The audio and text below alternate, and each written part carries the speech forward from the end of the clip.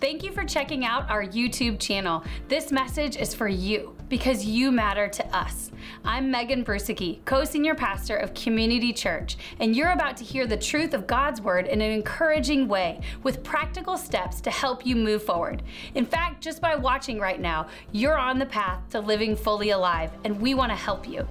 Check out community.church to experience the service live online or to get more info. Or come join us at one of our locations. We'll save you a seat.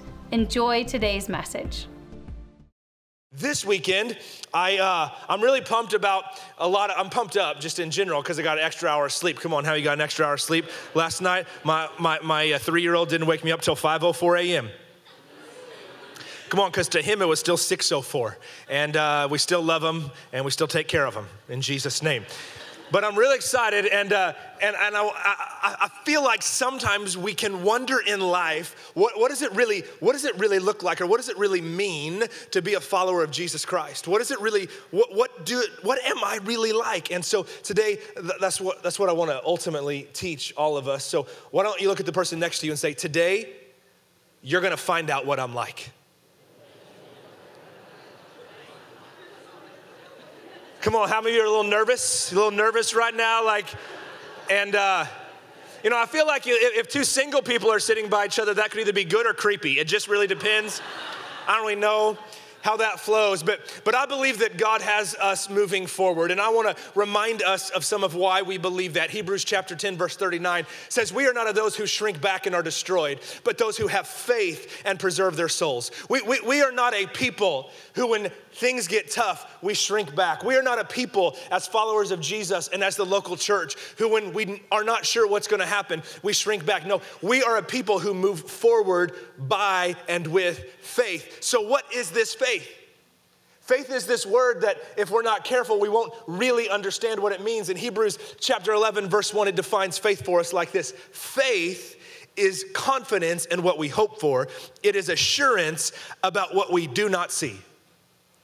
Now, when he says see, he's talking about in the natural right? What, what I actually, when I look out, I, I, I see, I mean, mainly I just see lights and some blinding right now, but like when you look out, right, what you see, that, that's not what he, he, he's talking about. No, faith is that I hope for what I, I see in the, na- in, the, in the spiritual, what I do not see in the natural. Faith is that I actually believe what God has put in my heart, that I actually believe that what I've read in, the, in God's word, that I actually believe in some of those promises of God. I can see them right here. I don't see them in the natural, but I see them.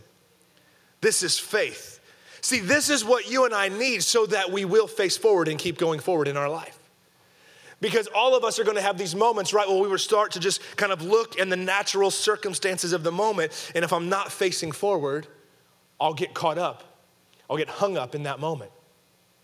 And so Hebrews chapter 11 goes on to talk about some what we call faith heroes and what they did and how they were living their life. Uh, if you've read your Bible before, these are some of the men and women that, I mean, God, God just miraculously um, used their life for good, and yet they had to continually face forward. It says this about a few of them in verse 24. It says it was by faith Moses, when he grew up, refused to be called the son of Pharaoh's daughter. He chose, he chose to share the oppression of God's people instead of enjoying the fleeting pleasures of sin. He thought it was better to suffer for the sake of Christ than to own the treasures of Egypt, for he was looking ahead to his great reward. He was looking ahead. I think that you and I get frustrated in life when we stop looking ahead. I think that if we were willing to be really, really real, like whatever your thoughts about heaven have ever been in your life, in this moment, I want to say to you, we get frustrated when we try to make this heaven. When we try to set up a life right now that is absolutely perfect and thinking it can be achieved. And we're constantly then frustrated because, listen, this is earth. It's not supposed to be heaven. No, we're supposed to keep looking forward, facing forward, and that's how we have strength. I remember my grandma, my grandma Brueseke. She's a little, she was a little old lady. She wasn't always a little old lady. She was a little young lady at one point. But I remember, like, you know, I'm like six, I'm like six foot three, used to be six foot four, but I'm not sure what happened, but now I'm six foot three. And uh, you know, I, I feel like grandma was probably about four foot ten. And, and, and I remember, I remember especially towards the end of her life when grandma wasn't healthy, she, she had this, I mean, she had, she, it's like she could just see heaven. She had this, this image looking forward, and she would sometimes get tears in her eyes and they would roll down her cheeks when she was like, Heaven's gonna be so awesome. I just can't wait to get there. It's gonna be so great. And I'm, i wonder sometimes do, do, we, do we live like that? Or do we live frustrated because this isn't? And are we not facing forward into the significance we should have to make a difference? Because when we're facing this life of eternity that God would have for us, that is how we ultimately have greatest impact on the earth today. That's why the writer of Hebrews tells us about a couple other people that didn't experience the fullness on the earth, but, but moved forward by faith. He says this in verse 30 By faith, the walls of Jericho fell down after they had been encircled for seven days. We're going to talk about Joshua in just a moment. It says in verse 31 by faith, Rahab the prostitute did not perish with those who were disobedient because she had given a friendly welcome to the spies. Now, this is the reason I'm using this verse today, and this is the reason I think that God let it be in the scriptures for us. Hebrews chapter 11, like Faith Hall of Fame, these men and women who did great things of God, he chooses this one person to call out their occupation Rahab the prostitute. Why is that significant for our life? Because I believe that God wanted us to be very clear that we can be completely set free from the sins and the bad choices of our past, and that He will not use those to hold us down and to keep us back, but He will use us to move His purpose and His plan forward in the earth today.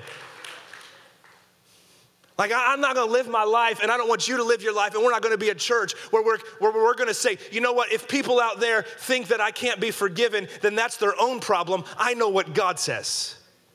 And I know that God still has purpose for my life. Listen, I know that God still has so much purpose for Hampton Roads and beyond. I know that you and I, right now, the reason you are here, like the reason you're breathing on the earth today, is for the purpose of others to be fulfilled because that is ultimately how you fulfill your purpose. And so he's like, listen, it's by faith you do it. You got to keep looking forward, you got to keep moving forward. So for us as a church, we kind of set Joshua chapter 1 as our baseline for this. Joshua chapter 1 in the, in the scriptures of the Old Testament is God talking to this guy, Joshua, and his people about kind of moving forward into the things he has for them. And for us several years ago, we kind of clung on to this and felt like the Lord was declaring over Community Church and over where He would have us go. I'm saying this to you right now as a church. It says in verse three, I promise you what I promised Moses wherever you set foot, you will be on land I have given you. And so we believe by faith today that that is the reason it's significant that we have a permanent location going at Suffolk. We believe by faith today that's the reason that we do local outreach all over Hampton Roads. We believe by faith today that's the reason we do international missions. Why? Because we believe that God said, I am giving you the land. Now, listen, I'm not talking about simply owning geographic land. I'm talking about going into areas and populations and bringing the people of those areas into the life God has for them. Like that is ultimately our purpose. And so God makes this promise to Joshua and he makes this promise of purpose and he makes the same kind of promise for you today if you would say yes to it. And then he goes just three verses down to Joshua and he says this be strong and courageous. And if you're new to hearing me teach any of this, I want you to understand today that the only reason you would need to be strong and courageous is if you were going to do something that would require you to have strength and courage. You know, as a dad, I, I, I, I, like, I like my kids to do things that's like difficult for them. And I'll say, like, come on, be brave. You got this. You can do it. Come on, man. You know, I have never said to my kids when they lay on the couch to watch TV be strong and courageous.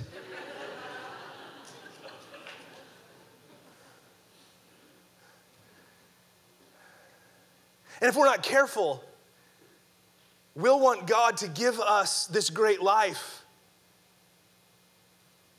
when He only gives a great life through a life that requires strength and courage. Because he says, This is your plan, Joshua. This is your, the plan for my people. He says, Be strong and courageous. He calls him out this way, and then he talks about everybody. You're the one who will lead these people to possess all the land I swore their ancestors to give them. Verse 7 Be strong. And then he added the word very. Like, not only does he repeat it, because it's one thing, like, you know, if you're mad at somebody, it's one thing to be mad, but it's a whole other thing to be very mad. he goes, Be strong and very courageous. And then he does the part right here in verse 7 and 8 to help all of us know, I believe, how to know we're facing forward, fulfill what God wants for our life. He says, Be careful to obey all the instructions Moses gave you. Do not deviate from them, turning either to the right or to the left. Then you will be successful in everything you do. Study this book of instruction continually. Meditate on it day and night so you will be sure to obey everything written in it. Only then will you prosper and succeed in all you do. He says, Take the word of God and like get it in your heart and obey what it says, being strong and courageous, and you will be successful in everything you do. There aren't many places you can go in life where they go, do this and you will be successful in everything you do, we promise. And God goes, Look, this is it. Just do this. So I'm like, Great. We got verse six be strong and courageous. Verse seven, be strong and very courageous. This is what you do. We're good to go. Then verse nine, he brings it out again. This is my command. Okay. Be strong and courageous. Come on, Lord. Why do you got to keep telling me to be strong and courageous? Because the fulfillment of God's purpose in his people in the earth isn't a one time strength, it isn't a one time courage. Faith isn't a one time decision. Doing something big for God isn't like I did something once. No, this is a continuous life of strength. This is a continuous life of courage where it is daily. He says, Do not be afraid or discouraged. Why? Because the Lord your God is with you wherever you go. So when you hear me get fired up about church and about life, I'm like this because I believe this. But I've read my Bible, and what happened to this guy, Joshua, and God's people in the book of Joshua is that after Joshua 1 happened, then really what happened was all hell started to break loose. And they had to actually find out that they needed strength and courage. Come on, if you're here today and you've gone through a difficult time, there's a good chance you've wondered at times, God, why do I have to go through this? You ever ask yourself that question? Come on, lift your hands up right now. Suffolk Campus, Western Branch. You ever, why, why, why is, come, come on, Lord. I mean, I know I'm not perfect, but I'm not as bad as that guy. Come on, you've thought it even if you've never said it.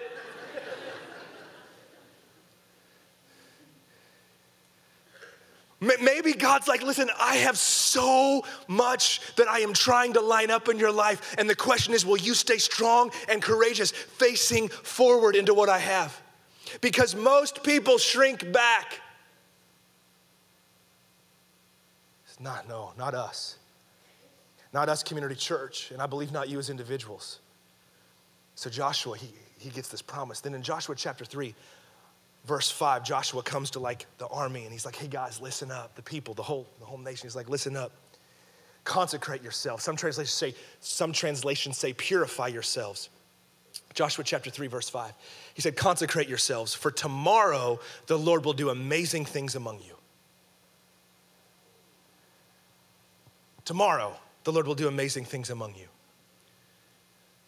Don't y'all wish it was today Sometimes the getting ready phase requires more faith than the going through phase.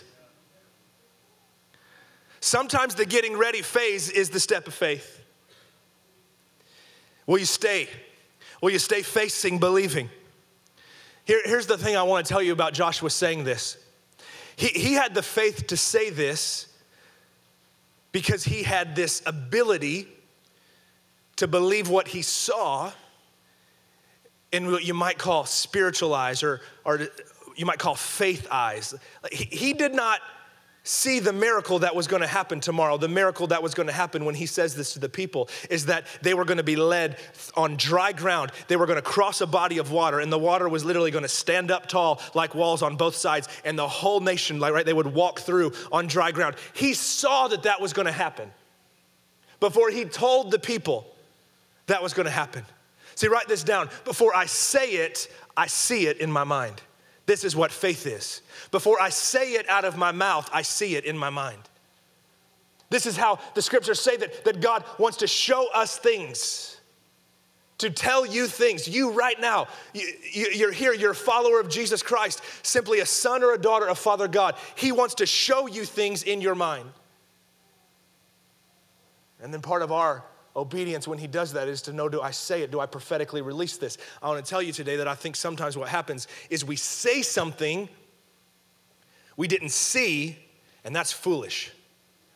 To say it without seeing it is foolish. This isn't me up here going, yeah, just say a lot of great things. No, God actually got pretty mad about people that did that in the Old Testament. He's like, stop telling people all this good stuff's gonna happen because that's not what I said. No, to say it without seeing it is foolish, but on the other side, to see it without saying it is fearful. And that is why he told Joshua, be strong and courageous. Because one of the most important things you are gonna do as a leader, listen, you are a leader if you are a follower of Jesus Christ, because we are called to lead people to know that Jesus has a plan and a purpose for their life, to bring them from mediocrity into living fully alive. You're a leader, and to be a leader, we've gotta be willing sometimes to be so strong and courageous to declare what we know we should declare, even though we're not sure how somebody's gonna respond. Be strong and courageous. So Joshua says, Hey, come on, let's go. And so everybody gets ready, and that next morning they get up. The Bible says in verse, or in, in Joshua chapter 3, it continues on and it says, He gets ready and they get up from camp and, and, and they're gonna go cross the water, and, and the priests are leading the way and they, they walk out into the water and the water starts to split up. And it says, This is what happened. They stopped and they stood in the middle of the body of water while everybody else crossed on dry land. Now, before I go any further into this part, I, want you to understand this, this is a miracle and it actually happened. And if you do study the book of Joshua, I think that you, it would be so great for your life. What you'll find out is after this happened, there was just another battle. and then after this happened, there was another battle. And they literally march around a city, Joshua chapter 6 called Jericho, caused the walls to fall down, caused them to take the city, and then after that, there's another battle. I'm like, I'm just, I'm just preferring the life where I fight one time and then it's like smooth sailing. Facing forward, and what Joshua taught, taught us, what God taught us through Joshua, I believe was this picture. It says, they stood, the priest stood in the middle, and they kept standing in the middle until everybody had crossed.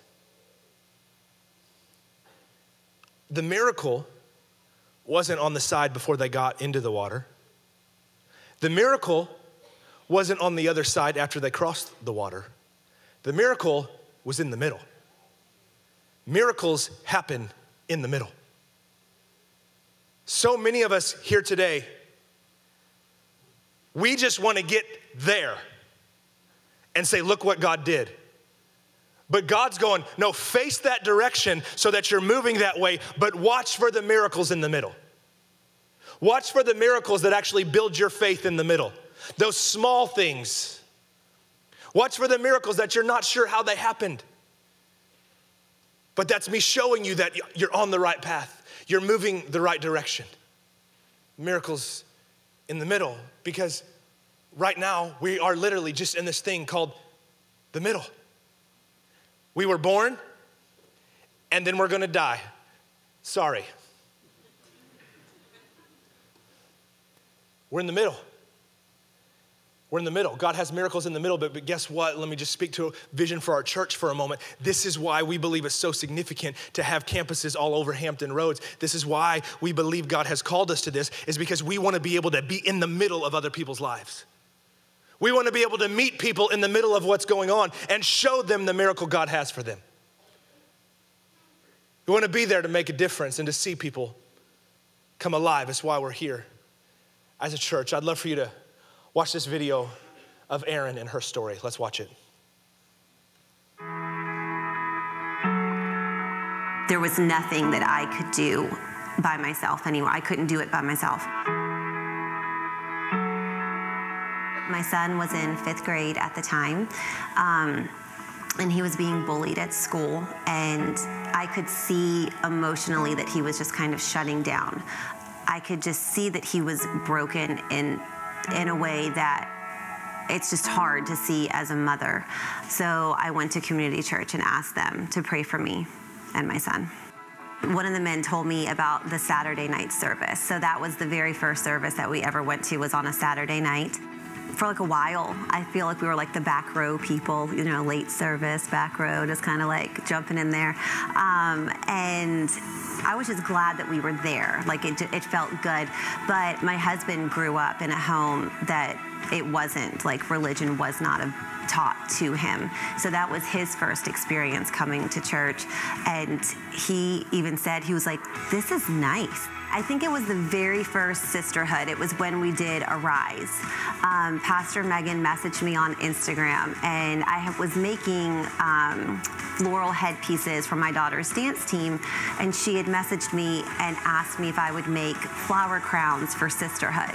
So I said yes, and that was like the very first time I got involved in serving like even a little tiny bit just like by making these crowns but Pastor Megan again wanted me to help paint the murals that we hung up. And I was like, like, what does this woman see in me that like I am not seeing in myself? So like she really encouraged me in those ways of getting me to serve in little small ways. It's been a huge transformation just for for like my son, for me and my husband and my daughters. But like as a family, it's been like there's been this total shift in everything. So like before we would just, you know, like we were just coming to church, like we would go to church, but we weren't like fully like checked into the purpose of church. And now like 4 years later, I can see how all those little tiny things that we did, the little tiny steps that we took brought us to this point where we are serving the way that we're supposed to be serving. We are fully checked in now and we're truly like living the way that we should be living, that God has intended us to live. Walking through all the other doors, like getting involved in groups and in sisterhood and all the things, it was I didn't know like what was going to happen. So now every Sunday when I open the doors for the people to walk in, like I do think about it like, well, do they know like what is on the other side of this? Like do they know that by walking through these doors, like how is this going to change their life like in four years from now? Like what will their story be four years from now just because they came to church this day and walked through these doors? It just changes everything. Like it, it just it's just so like it's just so good. It just changes all the things.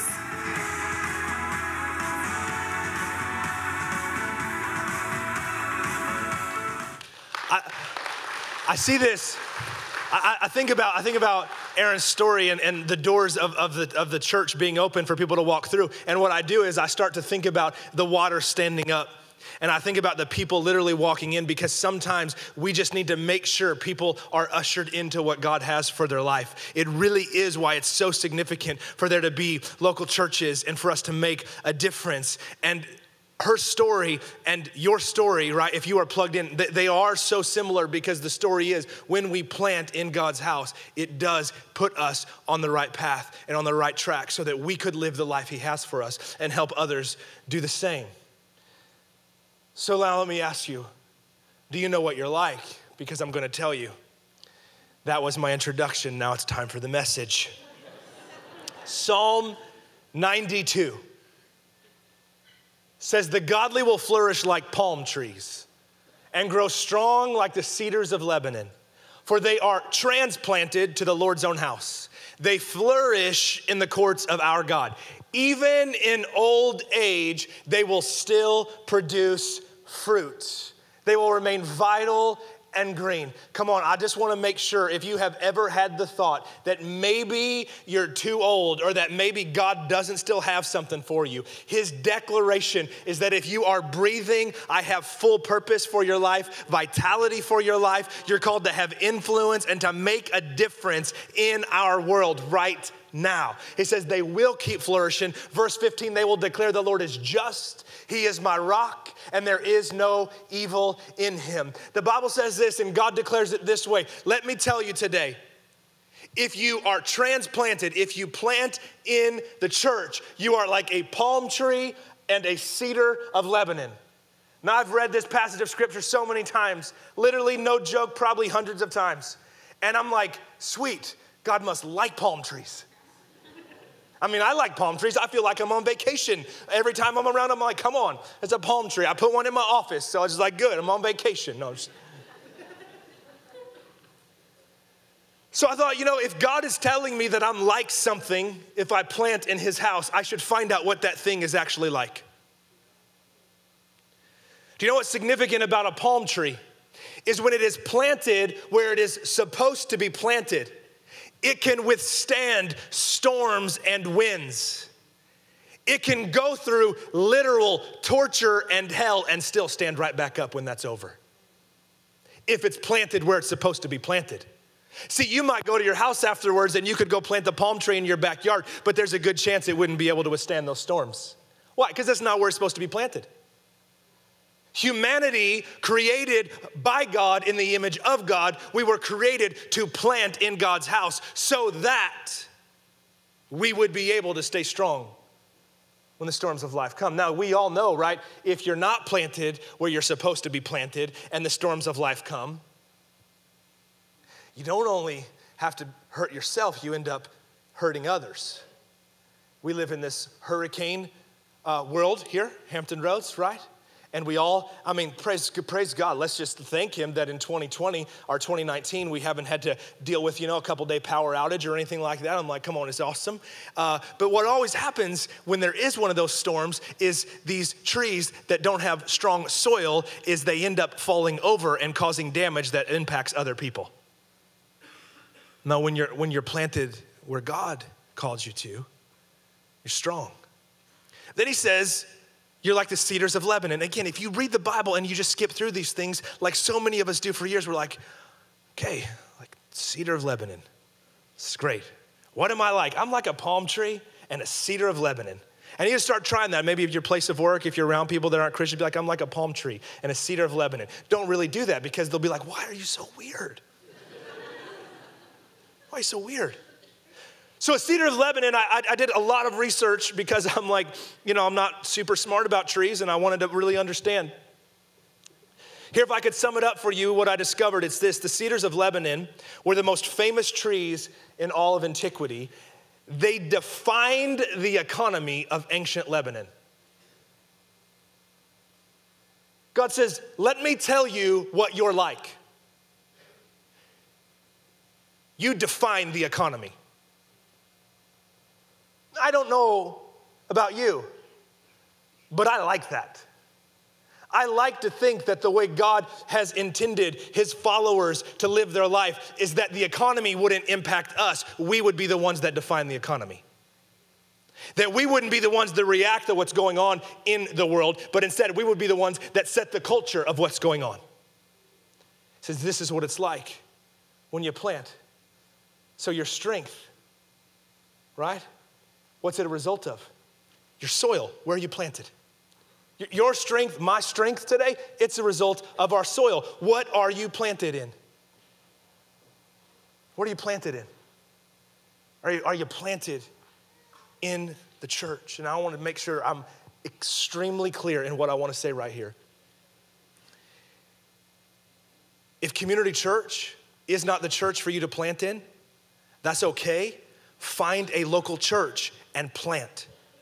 This doesn't say it has to be our church, but it does say it's got to be the church. We've got to plant. Jesus said, I will build my church, and the gates of hell will not prevail against it. We've got to plant. And what does it mean to plant? Listen, to plant in the church, it means to get connected.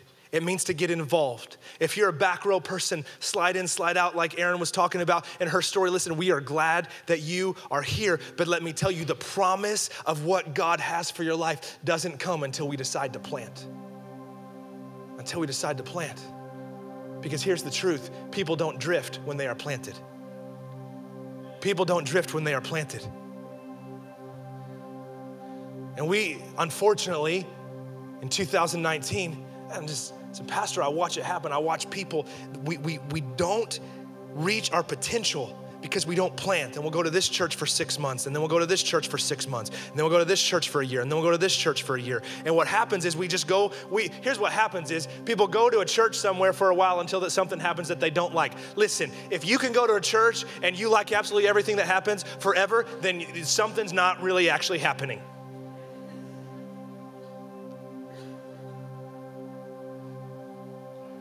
Read a quote this morning, cracked me up. It said this some people, some people say they don't go to church because church is full of hypocrites.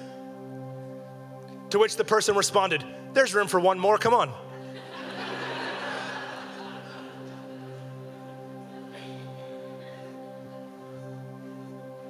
like Jesus is perfect, none of the rest of us are. We're saying, like, let's let's let's let's do what he said, because he's the perfect one, so that we would fulfill what he has for us. Let's plant, let's make a difference, let's help. Let's help people walk into destiny. Let's help people walk into purpose. Let's make sure that we are walking into purpose. Apostle Paul, he comes to Timothy, this young leader the time, and he says to him in 2 Timothy chapter 1 verse 6, this is why I remind you to fan into flames the spiritual gift God gave you when I laid my hands on you. He said, Timothy, you need to stir yourself up. You need to stir your faith up. You need to stir your faith up. So if you're here today, you're a follower of Jesus, the Bible says as soon as you decide to become a follower of Jesus, Holy Spirit, who is God, came to live inside of you. But we could let him, God with us, could just be dormant if we're not careful. So Paul said, Timothy, you got to stir that up. Now listen, I recognize this. Like I can on a, on a good on a good weekend message, I can get you stir, some of you stirred up a little bit. Like I can. There's some preachers I like to hear. They can like stir me up. But the problem is, like once you walk out of the doors of the church or once you stop listening, you have to be able to stir yourself up. You have to be able to stir yourself up. He said, You got to fan into flame, stir yourself up. Why? Because what is in there? He says, Here's what is in here not fear, not timidity, but power, love, and self discipline. Like, this is what is here the makeup of me. What am I like? I'm like a palm tree that could literally go all the way down to the ground in a storm that feels like, oh, it could take me out. But because of the hand of God, I can stand back up and be strong and powerful. And what is in me is this spirit of power, not like overbearing power, power to make it through. What is in me is love, where I can love people, not because they earned it, but because God loves me and where I can be self discipline, sound mind. But I gotta stir it up. You gotta stir your faith up. You say, come on, God, I don't wanna, I don't wanna, I don't wanna just go through the motions. Nobody likes to go through the motions. Well, we like to be fired up about good stuff. But if we're not careful, it's easier to get fired up about bad stuff. No, we gotta fan into flames the good stuff. We gotta get stirred up about the things that God wants for our life. We got to get stirred up about the things that we can't see with natural eyes, but by faith we believe that God does make dry ground through waterways. That we believe that God does have purpose for that family member or that friend who is just, you have not been able to get through to them, but God does still have purpose for them and it is going to get repaired one day. We got to have faith, come on, as a church, that God is desiring to see hundreds of thousands of people across Hampton Roads step out of a life of mediocrity into the life God has for them. But I've got to get stirred for it, and you've got to get stirred for it. So I ask you, stand up with me if you would at Suffolk and at Western Branch.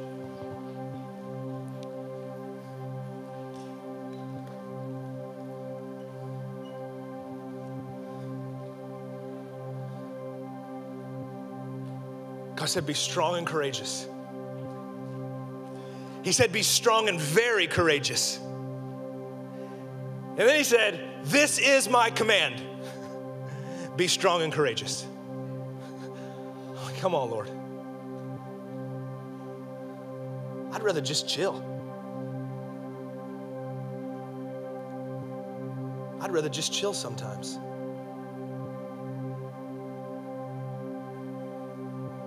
Telling you right now, what God would say to you is, I have better purpose for you, I have more significance for you. And it's not that you have to have some certain title, it's not that you have to have some certain exact job, it, it, it's none of those things. It's that you would come alive to the fact that God is in you, that He is with you, and that He's called you this life of faith that we would face forward so that we would see what He is doing and keep moving. So I want to pray for you today. I want to pray and believe that across our house this weekend, that our spirits would be stirred up that our faith would be stirred up. That some of us, if we have been kind of living in the middle in frustration, believing the miracle was at the end, we would start believing for God to show us the miracle in the middle. Maybe some of us feel like that we are like that palm tree all the way down at the ground, and if we were honest, we don't really feel like we're gonna pop back up. We've kind of just reserved to the fact that I guess I'm just gonna have to kind of live like this and go through this. And I'm saying, God, no, I wanna be stirred up with fresh faith. I wanna be stirred up that that's not the destiny that you put on our life. And so if you're here today and you'd say, you know what, I, I don't even know exactly how to pray it, but I want fresh faith. I want, I just want my spirit to be stirred up to the things of God. I want to come alive. Then I'm just going to ask you, you can hold your palms up like this. I'm going to pray for you because I just believe God wants to pour into us here today. Fresh faith. God, I thank you so much Lord, that you are the giver of all good things. Your word says that you're a good dad who loves to give good gifts to his kids. And so, right now, Lord, across this room, palms up, men and women say, I want to be stirred up with fresh faith today. I'm asking you, Holy Spirit, would you right now release fresh faith into these men and women? I'm asking in Jesus' name, Lord, where dreams have died, would you cause them to come back alive right now? Lord, right now where there has been a settling of this is just the way it's gonna have to be, God, would you break off that lie of deception and instead speak in right now, Holy Spirit, that there are better days ahead. The best is yet to come. Would you help us face forward right now in Jesus' name? Would you stir our faith? And I pray right now for every single man and woman with palms up, Lord, would you speak to them and show them how to stir up their spirit? How to stir up their faith, that when they walk out of this service in a few minutes, Lord, they would have a, a fresh understanding of what is it that stirs me up for the things of God. I thank you for favor. And I thank you, God, that we would come alive fresh today. In Jesus' name, amen.